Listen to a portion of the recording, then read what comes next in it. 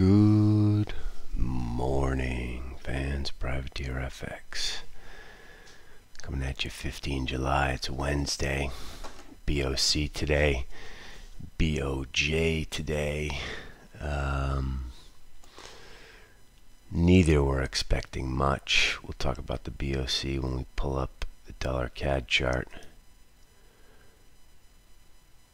But uh, I have to say, pretty hectic 24 hour period there. Um, trading. We were short Aussie, got stopped. Um, short Kiwi yen. Still in that. Uh, Kiwi yen hasn't done too much. We sold some equities at the close last night, stopped.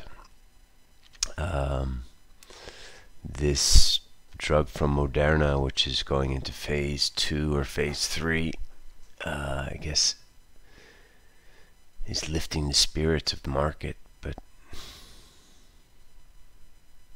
it's hard for me to jump on this huge bullish case um, when it just looks so superficial. Uh, the growth looks so superficial. But we're not going to fight the tape. Uh, we're square again. It'll be really, really interesting to see if we can make a new high over this uh, 2334. This is massively important now. Um, sorry, 3234. Um, through that, we look like we're going to perhaps make take a shot at uh, all-time highs. So they will be watching this 32.34 closely. The high today has been 16 and a quarter. Along the same lines, we're looking at this crude. Um, let's go four hourlies because the daily chart doesn't even work anymore. But we just got the stops from. We talked about it earlier that anyone who sold on Monday left a stop above 76. They got those at 88. Now we have a series of highs up here 4110. 4163, um, which is the June 23 high. Oil could also break out as well, which is insane. Uh, but it could, and we're not going to fight this. In fact, uh, we'll probably get long if we make a new high in oil. I don't think anybody has this. Um, and like Euro Yen yesterday, sometimes the most illogical trades are the ones that pay. Euro yen, we, we got long in the 90s, traded up to 22, and we just sort of scooped out of it just because we couldn't really believe it was it was up there. Um, but if you look at it closely, right, it, the low, the back low was 98. Never, never even touched 95.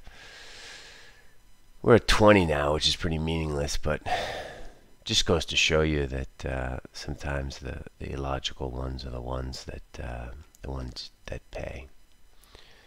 Aussie, on the other hand, which was a logical short in our mind, had a miracle hold at 22.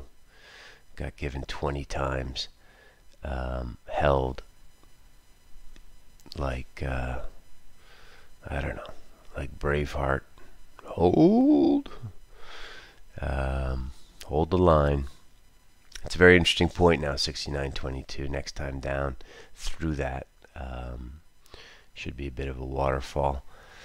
Um, but as the song says, don't go chasing waterfalls.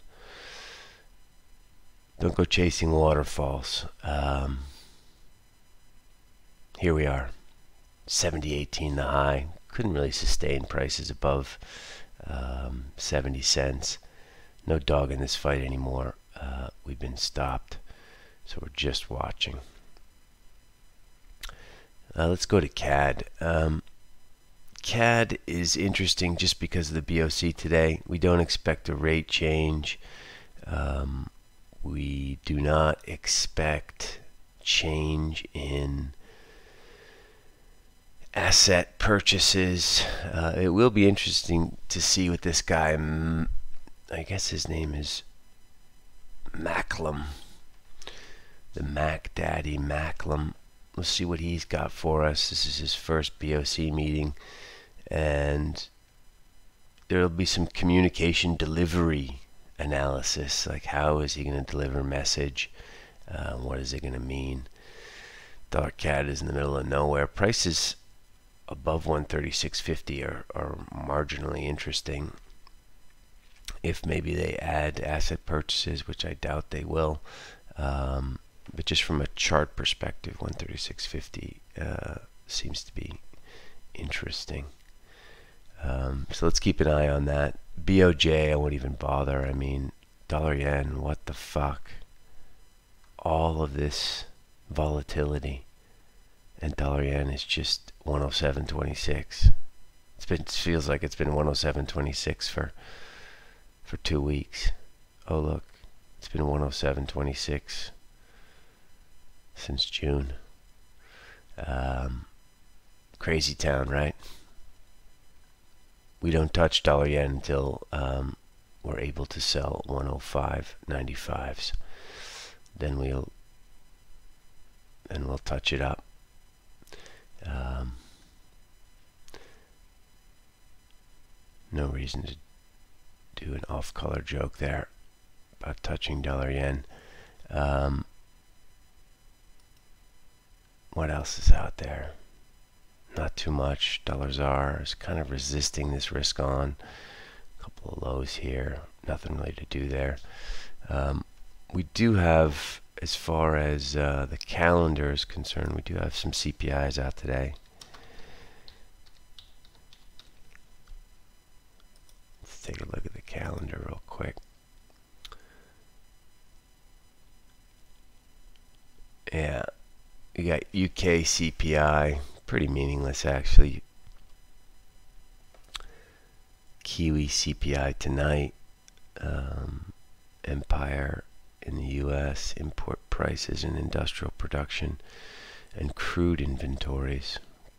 Crude inventories could be interesting for that crude chart.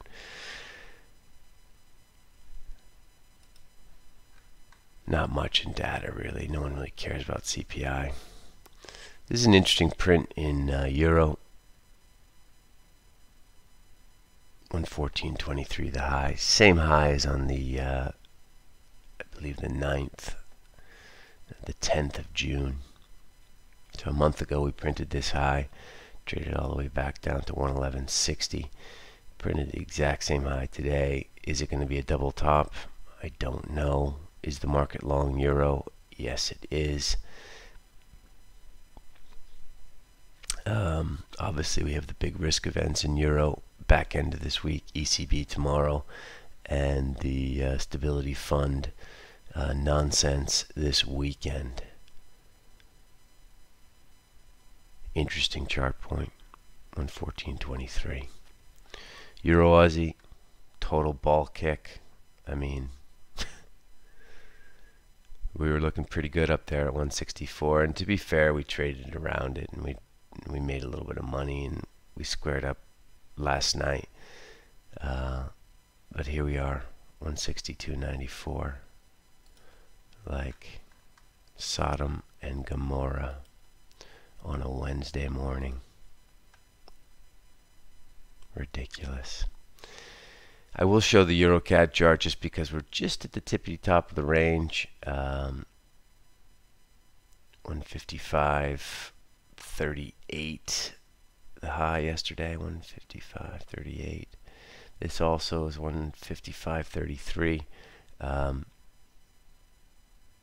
BOC today if we bust through 136.50 obviously 155 uh, we'll call it 35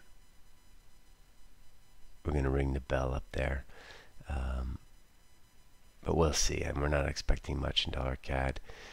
Uh, finally, take a quick look at Bitcoin, which is doing nothing. This looks like she wants to stop some people out on the downside again. And finally, gold. Um, we did plop through 97 yesterday, and we went down to 90, but she's holding steady here. Uh, gold futures market. This is the front front month 1810. Cash gold uh, is 1806. This is the futures.